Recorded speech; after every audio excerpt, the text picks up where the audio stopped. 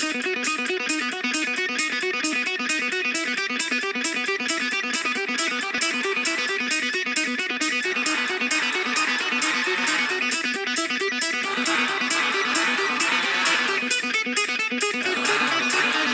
489 in Newton County, Mississippi, closed until further notice after part of it was washed away. Tonight, a flood watch remains in effect from Texas to the Florida Panhandle.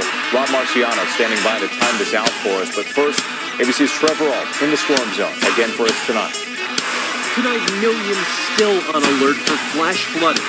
Stalled system relentlessly dumping rain on the deep south. The March flood peak. One-off relief payments worth up to $1,000 will flow from this afternoon, but they will be of little comfort to about 43,000 people still cut off from their homes.